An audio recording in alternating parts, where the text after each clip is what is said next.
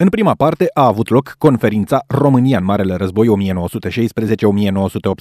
Au susținut alocuțiuni mai multe personalități, printre care înalt preasfințitul Teodosie, istoricul dr. Lavinia Dumitrașcu, preotul dr. Mircea Cristian Pricop, Gabriela Mihaela Paraschiv și cercetătorul Vasile Boboc.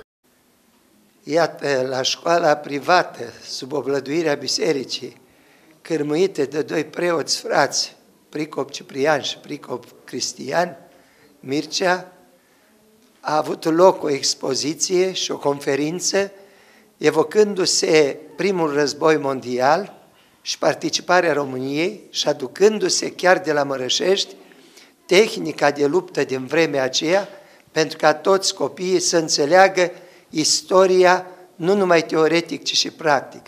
Este mare lucru că avem această legătură cu trecutul și mai ales că vedem pe viu cum au fost războaiele, cu ce arme s-a luptat și deznodământul acestora.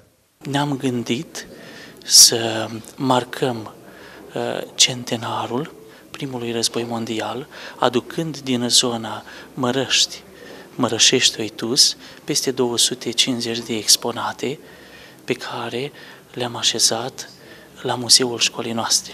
O parte din aceste exponate vor rămâne aici, ca muzeul uh, să meargă mai departe și atât elevii din școala noastră cât și din afara școlii noastre să vină și să se poată atinge de ele. Tot în cadrul simpozionului s-a inaugurat și un mic muzeu istoric și țărănesc cu exponate din Marele Război 1916-1918.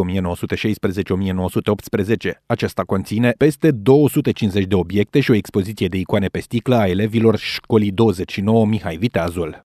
Am trăit astăzi aici un moment de istorie adevărată, aș spune eu un moment de înaltă simțire românească, pentru că iată, la 100 de ani de la marile evenimente din 1917, nici nu cred că am, putea, am fi putut să, să sărbătorim mai bine aceste lucruri decât în acest cadru în care veșminte și obiecte și arme care au participat direct pe frontul din 1917 de la Mărăș, Mărășești, Oituz, putem să le vedem și să punem mâna pe ele.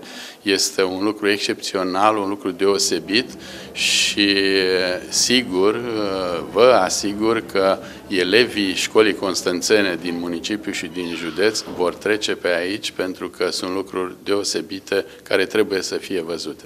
La final, invitații au avut bucuria de a asista la un moment artistic cu cântece patriotice și colinde prezentate de elevii școlii gimnaziale Anastasia, elevii de la Liceul de Artă și instrumentiști de la Teatrul Oleg Danovskie.